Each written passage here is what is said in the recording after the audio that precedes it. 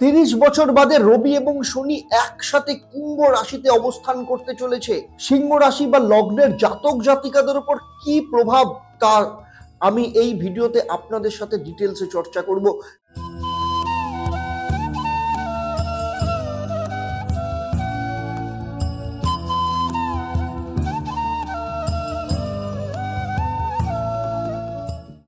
ওম নীলাঞ্জন সম্ভাষম রবি পুত্রাং যম রাজ্যম ছায়া মাত্রণ্ড সম্ভূতম, তম নমামি শনিশ্চরম। তিরিশ বছর বাদে রবি এবং শনি একসাথে কুম্ভ রাশিতে অবস্থান করতে চলেছে। সিংহ রাশি বা লগ্নের জাতক জাতিকাদের উপর কি প্রভাব? তার আমি এই ভিডিওতে আপনাদের সাথে ডিটেলসে চর্চা করব।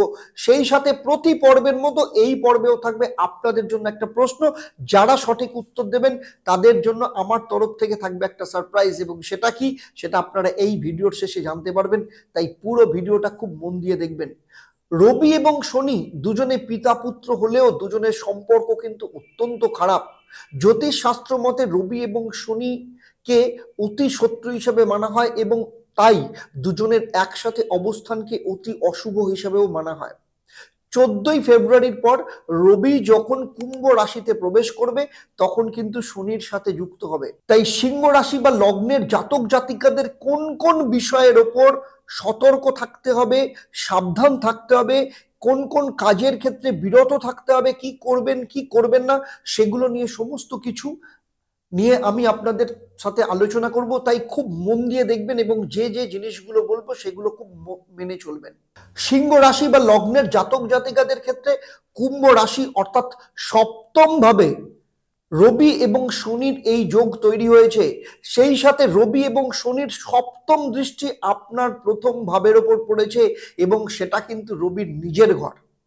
রবি এবং শনির এই দৃষ্টি আপনার চিন্তা শক্তির ওপর প্রভাব ফেলতে পারে। আপনাকে আপনার মেজাজের ওপর কন্ট্রোল রাখতে হবে। শনি আপনাকে কিছুটা অলস করে তুলতে পারে। চোখের সমস্যায় ভুগতে পারেন। বিশেষ করে মহিলা যদি হন, তাহলে আপনার বাঁ চোখ এবং পুরুষ হলে আপনার ডান চোখের সমস্যা আসতে পারে। কোনো কোনো ক্ষেত্রে অশুভ রবির কারণে আপনার মান সম্মান হানি হওয়ার যোগ আসতে পারে। সেই সাথে বলব, আপনার যদি সন্তান থাকে এবং তার বয়স যদি পনেরো বছরের ওপরে হয়, তার সোশ্যাল মিডিয়ার মাধ্যমে কোনো বিদেশি ব্যক্তির সাথে যোগাযোগ হতে পারে এবং যার দ্বারা সে কিন্তু প্রতারিতও হতে পারে, সে ব্যাপারে আপনাকে কিন্তু খেয়াল রাখতে হবে। সপ্তম ভাব, আপনার বিবাহ বা বিবাহিত জীবন, সেই সাথে আপনার স্বামী বা স্ত্রী, ব্যবসা পার্টনারশিপ ব্যবসাকেও কিন্তু নির্দেশ করে। যেহেতু রবি এবং শনি দুজনে অতি শত্রু, তাই বিবাহ ও দাম্পত্য সম্পর্কের ক্ষেত্রে কিন্তু খুব সাবধান এবং সতর্ক থাকতে হবে। আপনার স্বামী বা স্ত্রীর শারীরিক কিংবা আর্থিক দিক থেকে কোনো সমস্যা দেখা দিতে পারে। ব্যবসায় লেনদেন বা যে কোনো ধরনের ট্রানজাকশনের ক্ষেত্রে আপনাকে খুব সতর্ক থাকতে হবে। যারা পার্টনারশিপ ব্যবসা করেন, তাদের পার্টনারের সাথে সুসম্পর্ক বজায় রাখে এবং তার সাথে তার ওপর একটু সতর্ক থাকাও কিন্তু আপনার পক্ষে জরুরি। বিশেষ করে কোনো ব্যক্তির সাথে আর্থিক লেনদেনের ব্যাপারে আপনাকে সাবধানতা অবলম্বন করতে হবে। সেই সাথে বলব, আপনার মামার আর্থিক সমস্যা বা কোনো মামলা মোকদ্দমায় সে কিন্তু জড়িয়ে পড়তে পারে।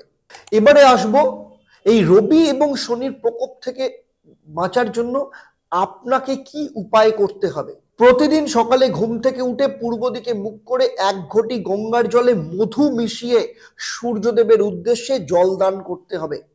এবং সেই সময় যে মন্ত্রটা পাঠ করবেন, ওম রাং রিং রং স্বা সূর্যায় নামাহা এতক্ষণ আমি আপনাদের সাথে যে আলোচনা করলাম, সেটা হলো আপনাদের এই রবি এবং শনির যোগের জন্য কোন কোন বিষয়ের ওপর আপনাদের সতর্ক থাকতে হবে, কি করবেন এবং কি করবেন না, কোন কোন কাজ থেকে আপনাকে বিরত থাকতে হবে। আমার এই আলোচনা আপনার জন্ম রাশি বা লগ্নের ওপর ভিত্তি করে।